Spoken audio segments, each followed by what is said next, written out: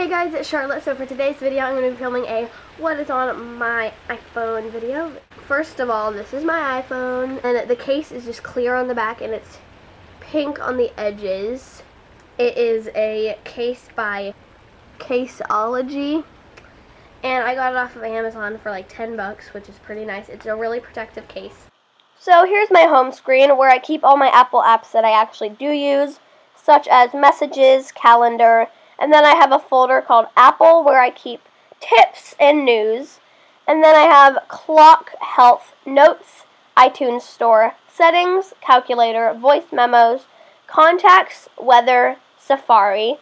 And then in my down bar, I have phone, mail, app store, and then I have a folder called Let's Chat where I keep all my video chatting stuff like ooVoo and FaceTime, and I recommend both of those. If you have an iPhone, you automatically have FaceTime, but I recommend ooVoo if you want to video chat with more than two people.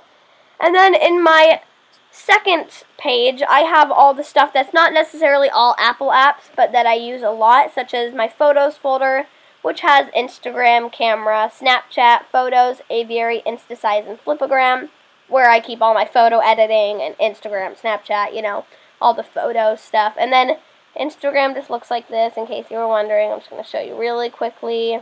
That's what it looks like. And then, yeah, that's my photos. And then the next folder I have is music, and I used to have Spotify in there, so that's why that's in a folder. And then the next one I have is travel, but I can't show you that because it has my city name on it, because it's what I use to get around. And then I have Pinterest, Find My iPhone, Amazon, My Data Manager, which I totally recommend if you are low on data or like don't have a lot of data to use and you really need help managing it. It's perfect. BuzzFeed, Flixster, and Smule Magic Piano. So that's my stuff that I use all the time too. And then Google things, I have Google Maps and Google Docs, and I use those for usually school essays or like writing prompts and getting around.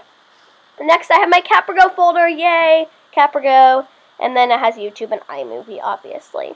And then for my games, I have Nono Islands, Doctor Driving, and Dumb Ways to Die 2, where, yeah, those are my games. And my favorite is Nono Islands. You guys should totally get it if you have the App Store where you can get it.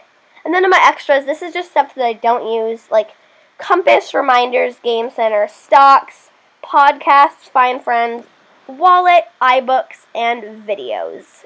And then on my next page, I have Apple Watch because I don't have an Apple Watch, which means I have no need for that. So yeah, this is my iPhone. So I hope you guys liked that video. If you did, give it a big thumbs up and be sure to subscribe. See you next time. Bye.